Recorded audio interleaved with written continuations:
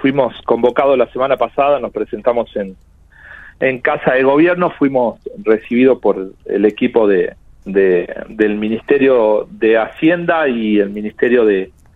de Trabajo. Eh, bueno, estamos en una instancia de, de conversación, pero que está estancada. Nos han oficializado eh, lo que ya habían comunicado o u ofrecido al resto de los sindicatos eh, con representación de trabajadores estatales, que tiene que ver con el ofrecimiento de un aumento del 10% en la paritaria general para el mes de noviembre, a cobrar en el mes de diciembre,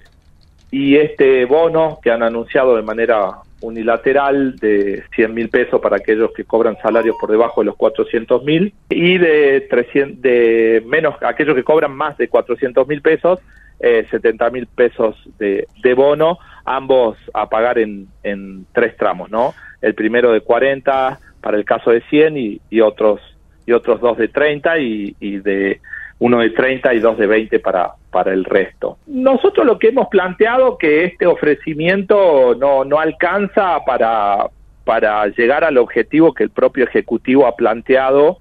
como sus aspiraciones o su objetivo para, para este año de que ningún trabajador quede por debajo de los índices de inflación. Nosotros lo hemos planteado eh, con mucha franqueza en, en, la reunión paritaria. Con estos números hay un sector muy minoritario de nuestro escalafón que podría alcanzar e incluso superar eh, la inflación, pero es un sector eh, minoritario. La absoluta mayoría de los profesionales, si solamente se aplica esto que el Ejecutivo oficializó en el día de hoy para con los profesionales, la absoluta mayoría no llega a cubrir el índice inflacionario, por lo tanto hemos expresado la necesidad de que se cumplan los compromisos asumidos y se corrijan algunas distorsiones, algunas injusticias que tenemos en nuestro escalafón